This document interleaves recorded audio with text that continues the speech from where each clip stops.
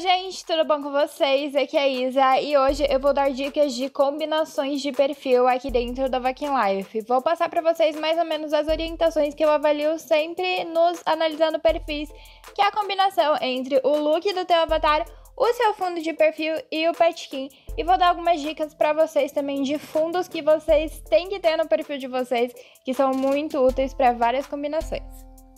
Antes da gente começar mais esse vídeo, então já vai deixando sua curtida embaixo, se inscreva no canal caso seja novo por aqui e não esqueça de ativar o sininho para não perder nenhum envio.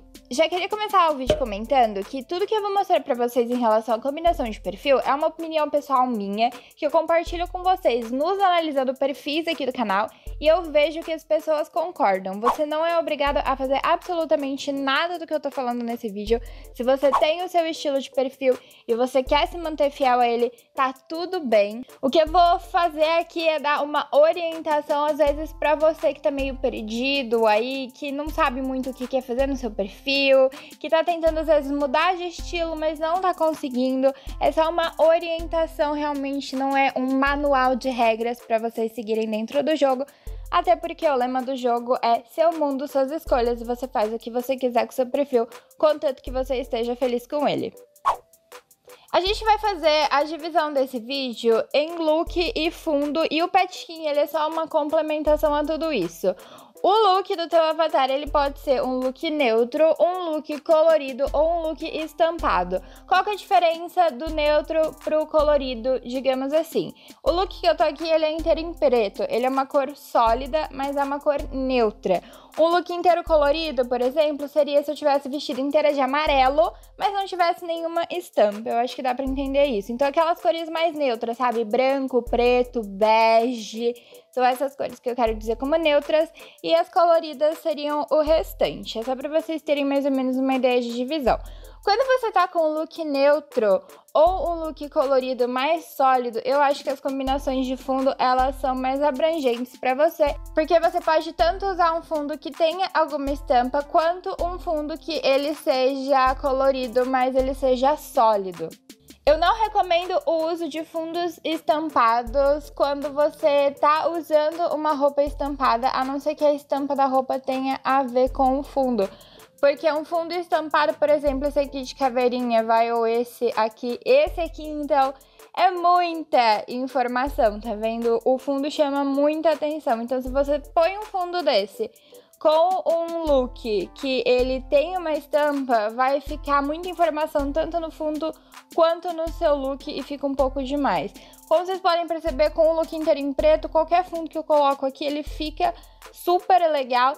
Mas uma coisa que eu acho que, pelo menos eu gosto de fazer bastante, é ter pelo menos um pretinho assim no fundo, sabe? Por exemplo, esse fundo azul tem um pretinho ali no fundo. Então eu gosto bastante de usar pelo menos um fundo que tenha um pouquinho da cor do meu look. Claro que com um look neutro, como eu disse pra vocês, você pode usar qualquer combinação de fundo aqui que ficaria super legal. Eu particularmente gosto de usar os fundos que eles tenham alguma coisinha do meu look. Aqui eu acho que eu consigo exemplificar para vocês melhor o que eu quero dizer. Observem esse fundo aqui, fatias cítricas. Ele não tem nenhuma cor do meu look, né? Não tem nada impresso nesse fundo. Fica ruim com esse look de maneira nenhuma, porque o look não tem nenhuma estampa e é uma cor inteira sólida, né? Mas, se eu coloco, por exemplo, o fundo rosa noturno, tem os morceguinhos em preto, vocês não sentem que fica muito mais legal só pelo fato de ter uma coisa em preta nesse look? Enfim, gente, é basicamente isso que eu quero dizer com a combinação, sabe? Do fundo com o teu look. Looks que eles são sólidos, independente deles serem coloridos ou eles serem neutros, são mais fáceis de combinar com os seus fundos. E antes de eu mudar o look da minha avatar e falar sobre os looks com estampa, né? Porque obviamente a gente vai fazer isso, eu queria dar algumas dicas para vocês de fundos que eu considero super assim coringa, sabe? Que você consegue usar com várias composições.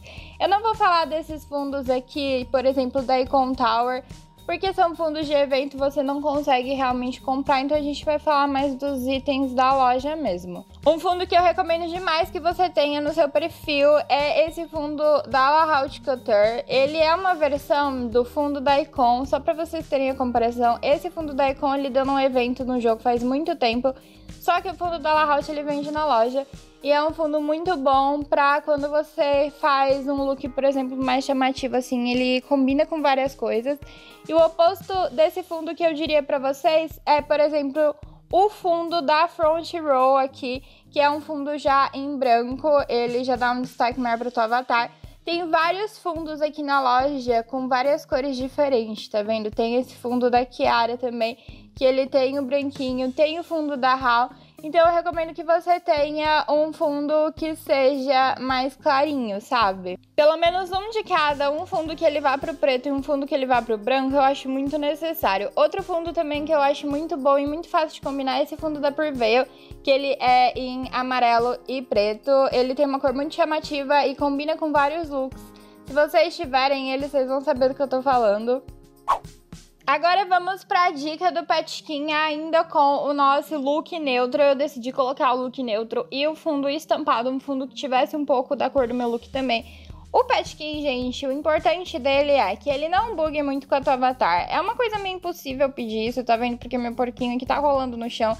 E ele vai entrar no vestido da minha avatar, evidentemente. Mas em relação à combinação de cores que eu gosto de comentar com vocês, é colocar uma cor que tenha ou no fundo de perfil ou na tua avatar. Se você virar para mim e falar, Isa, eu não tenho nenhum pet que tenha uma cor parecida com o fundo de perfil ou com a minha avatar. No caso aqui, a minha avatar ela tá vestida de preta e esse porquinho, ele tem manchinhas preta. O porco é rosa, gente. Não tem rosa em nenhum lugar do fundo de perfil, nem no meu look.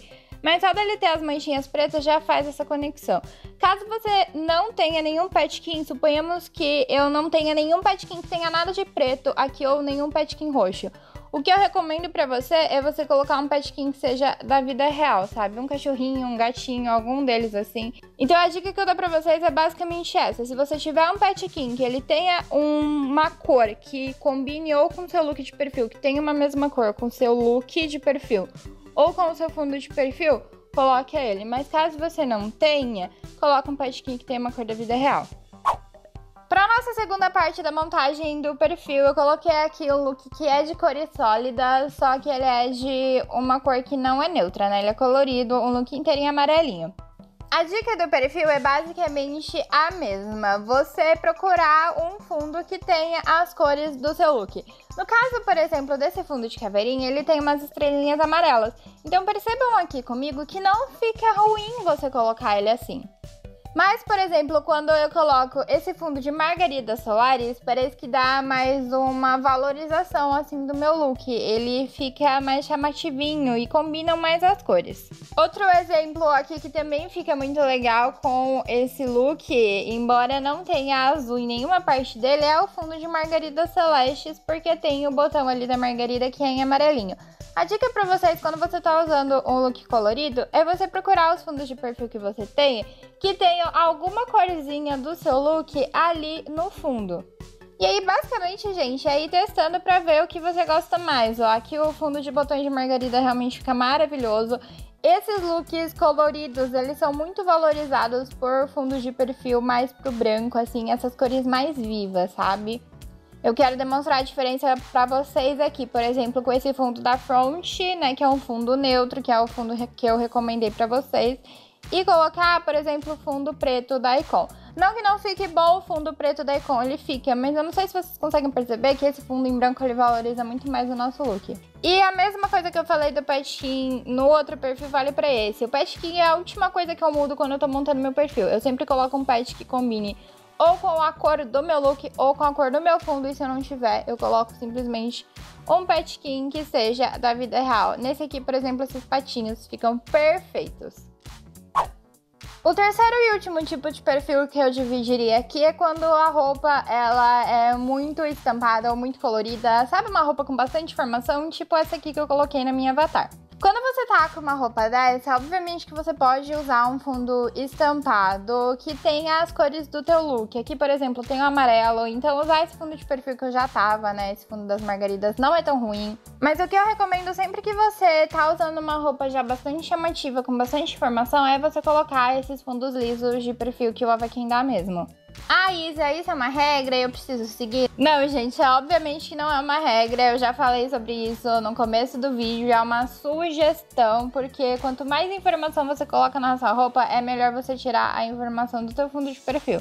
Porque se você tá usando uma roupa dessa, uma roupa super chamativa, assim, super estampada, o destaque ele vai naturalmente pro seu avatar. Então, pra que destacar o fundo também, sabe? Deixa o destaque só no centro das atenções do perfil, que é o teu avatar mesmo. Aqui eu tô fazendo o que eu falei pra vocês no começo do vídeo, né? De que se você não sabe qual pet colocar, você coloca um petinho na vida real usando esse koala pra montar esse perfil mais colorido no look do avatar. A dica extra desse vídeo é em relação a poses e pets que voam, porque eu sei que às vezes eles dão umas bugadas muito loucas.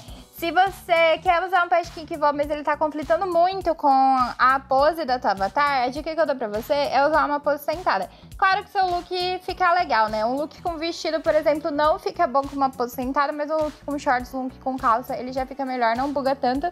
Então, se você quiser fazer isso, eu acho que fica muito legal usar uma pose que seja sentadinha, independente do fundo de perfil que você usar.